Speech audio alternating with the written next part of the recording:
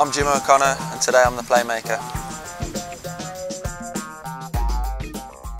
Uh, track number one, I'm going to go for Hurt by Johnny Cash. I will let you down.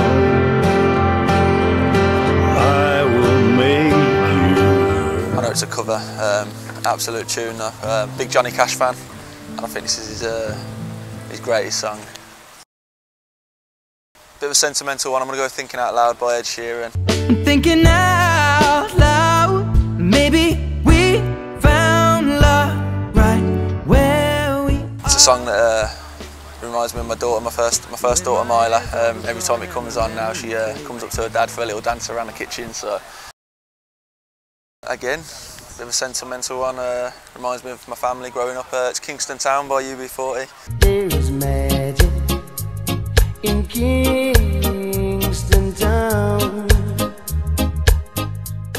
Brummie lad, obviously, uh, got to chuck one in by by UB40. Uh, Birmingham's greatest uh, export. What took you so long by the Courteeners? What took you so long? Was there a at the post office? What took you so long? big fan of theirs. Um, seen them live as well a couple of times, and a great song live. It is brilliant. Um, great crowd pleaser and that. Green Day, time of your life. Another turning point, a fork stuck in the road. Time grabs you by the wrist, directs you Always like that song to be fair, but um, two finals with Doncaster, um, Johnstone's Paint final and uh, playoff final as well at Wembley. And both times we played the song before driving into the ground, and uh, yeah, it brings back some great memories. Um, obviously the days went well as well, winning the game.